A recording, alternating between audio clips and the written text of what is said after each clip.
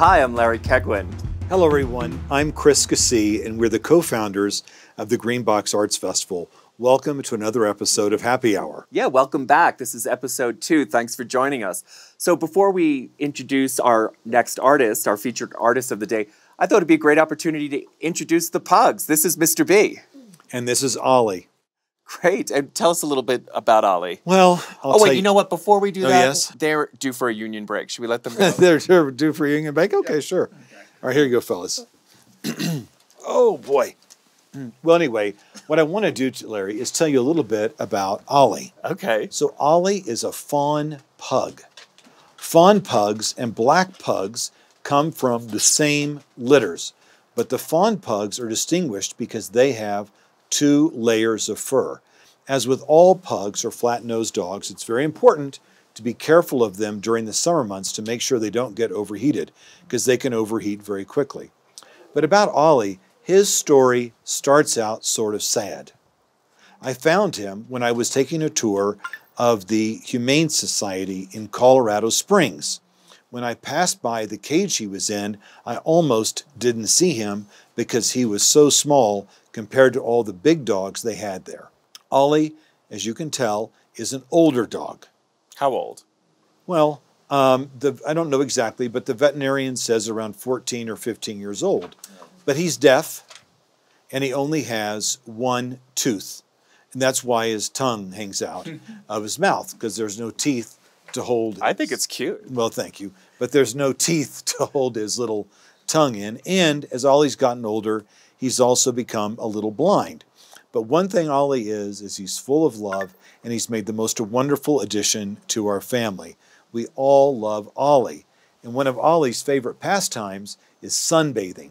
he loves sitting in the sun and on the deck and enjoying a little bit of bright sunshine, but not too long because we don't want him to get overheated. So, do you want to know a little bit more about Mr. B? Yes, tell us all about I'm Mr. sure B. you're curious. What is the B stand for? So it's it's Balanchine, George Balanchine, and George Balanchine was a famous choreographer, and I've always admired him. Being a choreographer myself, I find that he's an inspiration, and I thought, what a great name for the pug, right? But let's be honest, Mr. B, the B can stand for anything. It could be for bossy or bratty, or Mr. Big. And these days, he's as heavy as a bowling ball. It's true. I'm guilty of overfeeding him. Enough about the pugs. Let's hear a little bit about our featured artist today. I'd be happy to tell you. Um, so, first of all, it gives me a great deal of pleasure to introduce to our audience Mr. Chad Mount. I first met Chad when I saw a photograph of him in a local magazine. At the time, though, I thought that I need to get to know this fellow, and so I picked up the phone and gave him a jingle. We met and we immediately became fast friends. Really a terrific guy. Since that time, um, Chad's artistic practice has exploded. Also, Chad has been a committee member uh, for both Oklahoma Contemporaries exhibition and also the on the uh, education committees at Oklahoma Contemporary. Having an artist of Chad's stature and caliber has really been a great honor uh, for Oklahoma Contemporary.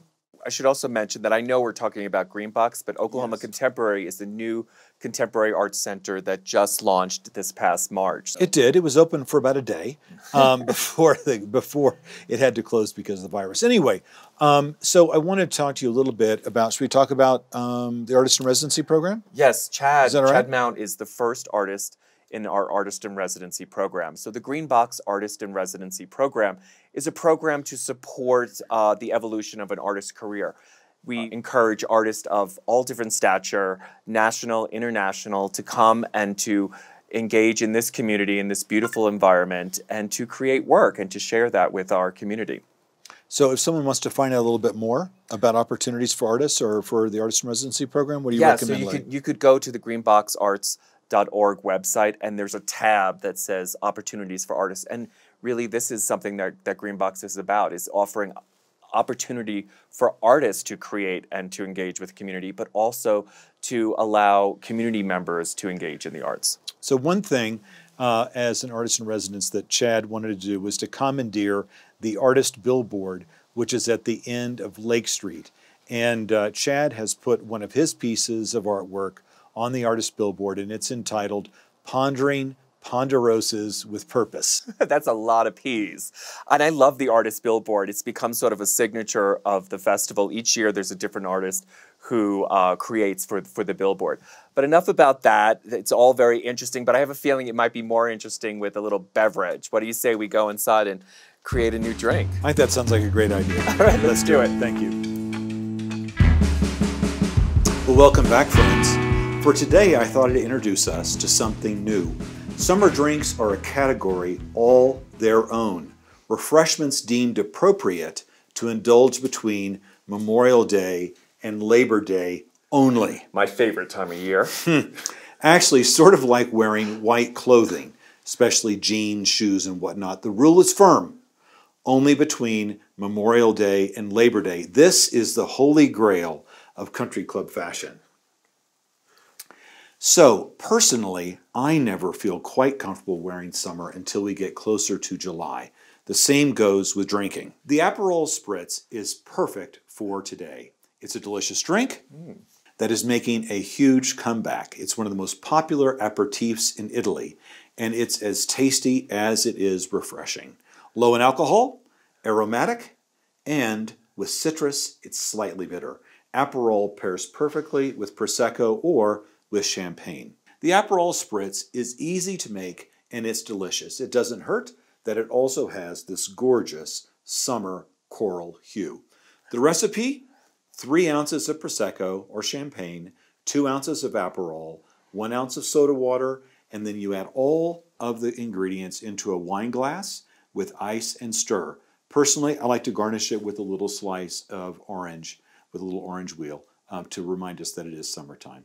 Larry, what about you? Well, you know, I'm a simple guy, so I'm keeping it simple again. I'm opting for Heineken. Have you heard about it? Mm. Yeah. So I, it's actually one of the most popular brands in, in the world, right? So it was originated by uh, Gerald Heineken, you know, the name Heineken, and his mother was very wealthy, and he had asked his mother, Would you buy this brewery for me? And she did, lucky guy. So, you know, to prepare this drink, I, I like it on ice. You know, I like it real chilled. But some people, you might like it room temperature, you know, different strokes for different folks. Now, the hardest thing about preparing this drink, it's finding the opener. There it is, yeah. So I just put a little muscle in and uh, voila. And you can opt for a glass, but you know, I'm just gonna swig. Cheers. Cheers. Whoa! Very Keeping it classy. Keeping it classy. okay, so next thing we're going to do is we're going to talk to our friend Chad Mount, and Chad is the insta- one of the installation artists uh, for Greenbox Arts Festival in 2020. But he was also he also has the distinction of being the first artist in residence at Greenbox. So we've got a lot of fun things ahead, yeah. and we'll see you soon. We're going to step outside. Okay, see you then. Chad was born in 1975 in Oklahoma. He attended the University of Oregon, where he studied character animation. He's illustrated for Spin magazine and worked on game development for PlayStation. He's participated in the Arteles Creative Residency in Finland, and his artwork is in the collections of the Toy 2R HQ in Hong Kong, the Oklahoma History Center, and the Kirkpatrick Bank.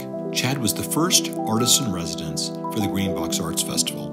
His residency took place in February and March of 2020. As a part of that residency, Chad was able to commandeer the artist billboard in Green Mountain Falls.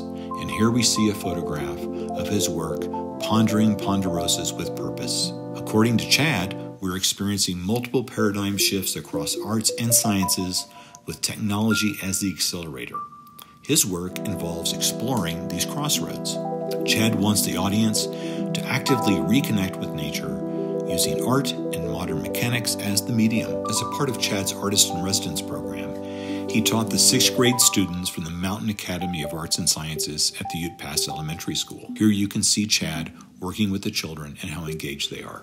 Here are a few examples of Chad's previous artwork. This piece, entitled It's Just You and Me, was shown at the 2015 Busan, South Korea Contemporary Art Fair. This body of work was inspired by a smaller piece of artwork that Chad had given to a friend. That friend was involved in a shipwreck off the coast of South Korea, and the artwork was lost at sea. Chad imagined what that artwork was doing deep in the ocean. This one is called Noise Maker Speaker. A retro speaker was wrapped in 32 individual video clips from Scandinavian Lights. Even the four tiny screws that held each speaker together had its own tiny movie playing on it. The speaker was bought at a thrift store and painted white with a dusting of silver spray. According to Chad, what fascinates him is the almost symbiotic relationship between the celestial and the aquatic. He aims to capture the parallels in both of these realms. Chad has been influenced by Olafur Eliasson and Christo and Jean Claude. Chad says that when he saw Eliasson's work, that it changed the way he viewed light. He also has an affinity to be playful and experimental. He's also been inspired by the scale of Christo and Jean Claude's work. Cheers. To Chad. To Chad. Hmm. Thanks for joining us, Chad. That's delicious. Chad, it is really great to speak with you today and to introduce you to our viewing audience. Please describe yourself and the history of your background. We'd be interested to know. Thank you so much for having me. I'm thrilled to be here, honored, really. I was born in Tulsa, Oklahoma, in a pink hospital, and uh, was raised, or I like to say, I grew up in Oregon, but I was raised in Oklahoma. All my life, I've been attracted to the arts, creating things on some level or another. And uh, in fourth grade, I won this award and it was for a piece of sculpture that uh, gave me a $10 savings account. And that put in my brain, wow, people value this thing called art. From there, my sister was another influence in my life. She was a graphic designer. That headed me in that direction once I got out of high school. Within a, a year or two, uh, headed out west to study animation, character animation at the University of Oregon. Before I could even graduate, I was scooped up uh, by a game company in, in Eugene. So the company just kind of popped, it disappeared uh, overnight. And actually, it was at that point, I'm kind of, uh, I kind of went in reverse in many ways uh, because I was very much digital before I ever picked up a paintbrush. Anything can be a brush. It's all a matter of perspective. Wow, I didn't realize you did all that. That's fantastic. Great. So I'm curious specifically about the work you're creating here in Green Mountain Falls that'll be at the billboard at the end of Lake Street downtown Green Mountain Falls. Can you talk to us a little bit about the process and how you went about building that work? Pondering ponderosas with purpose. Yeah, that was fun. Um, when I first arrived at the residency, I was very excited to take my equipment out into the woods and test out some of these uh, theories. So, started by documenting snowstorms, and that footage uh, I would sit with and play with while I couldn't go anywhere. Um, and I didn't know that that was going to be the billboard. Honestly, there were several things that I thought might make their way into being the billboard. Uh, but when I got back from uh, Green Mountain Falls and I was going through the edits and looking at the footage, I looked at that piece and uh, I just knew what I wanted to do. That billboard ended up actually being uh, extracted from a video that I created from that balcony looking down at where the billboard's sitting. So if you look at the billboard again, the little back, the mountains in the background are actually the same mountain that's right behind the billboard itself. Great. Thanks for sharing about that work. I know our audience here would love to see that. So I'm curious, how has projection, the technology of projection, changed over the years? Larry, so I have to tell you, the 12 years that I've been working with projection mapping, um, really in the last two years, there's been a paradigm shift. So, how has it changed? Um, the tools. A production that would have cost, uh, you know, $50,000 a few years ago can be done for a fraction of that with the tools that are available now. You don't have to have the expertise and the knowledge and study uh, years of lighting like I have necessarily to to work with projection, to, to do a, a project using projection mapping. But I also, Larry, I think it's going to really become more integrated into our daily lives outside of art um, alongside with augmented reality because the way i look at projection and projection art is more projected it's more projected ar because you're essentially augmenting a space with light but in three dimensions That's fascinating. I'm glad you understand it. I don't, I don't understand a thing, but it looks great. And sounds good. Chad, my gosh, you served on the education committee and the exhibits committee at Oklahoma Contemporary, and I'm very, very thankful. You were there for the inaugural exhibition, Bright Golden Haze, which is currently on exhibition. I'm curious to know, um, in Bright Golden Haze, is there an artist that you identify with? Yes, Chris. The one that I identify with the most is Olafur Eliasson. Tell us a little bit about your time in Green Mountain Falls. Did you enjoy your residency here? I know it was cold, it was in February, but you got time to interact with the kids at the Ute Pass Elementary School. Tell us about your time in Green Mountain Falls. Well, Chris, first off, it was a huge honor to be the first artist in residence at Green Mountain Falls, and I loved it. Um, I chose that winter, the February month, because I hate the cold. I mean, I'm a pretty thin guy. I don't, uh, I wanted to be outside of my comfort zone to push myself. Uh, I felt I would, it would push me and, and what I was trying to do creatively a little um, harder, and uh, it did. Chad, you are a ladies' man. What about, what's it called? The Blue Moose. The Blue Moose. Did you make it down to the Blue Moose and check out the ladies, local talent, play a game of pool? we want stories. We want stories. Please share for our viewing audience. This is what they're paying for, Chad. Yes. Ah, Chris, Chris. Yes, of course. Um, ladies, it was February, Chris. There weren't many ladies in Green Mountain Falls, even at the Blue Moose. And on that note, what happens at the Blue Moose stays at the Blue Moose. You should know that of all people. Chad, someone whispered in my ear that you were a deadhead. So, you know, I'm wondering, being a great fan of the Grateful Dead, has that influenced your work at all? Yes, I am a deadhead. I got into it very early, and so it most definitely influenced what I was doing, uh, including a billboard, oddly enough. The only other billboard that I've ever created ended up going in off a highway in Tulsa for when I was a junior in high school for like six months, and uh, it was to help save the rainforest, which I would not have done had I not been introduced to the Rainforest Action Network through touring with the Grateful Dead. Thank you so much for taking the time to meet with us today and to talk with our viewers. You're such a pleasure to work with, and it's an honor to be your friend. If it's okay with you, I'd like to share your contact information in the credits section of this episode with our viewers. So if anyone wants to reach out to you, they can feel free to do so. Thank you so much for this interview. I have to split now. Also, I'd like to thank everyone for participating today and remind them that next week we'll be tuning in with Jason Hackenwerth, our featured artist.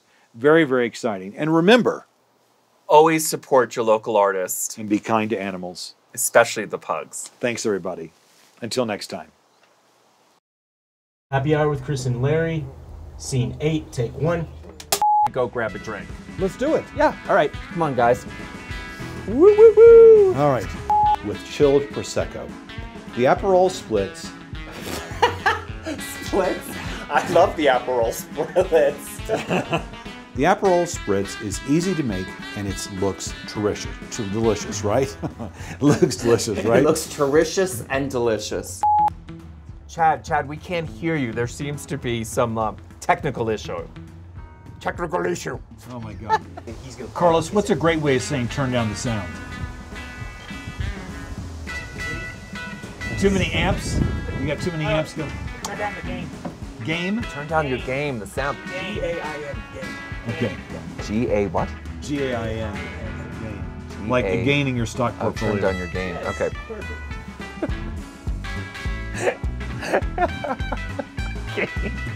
Gain.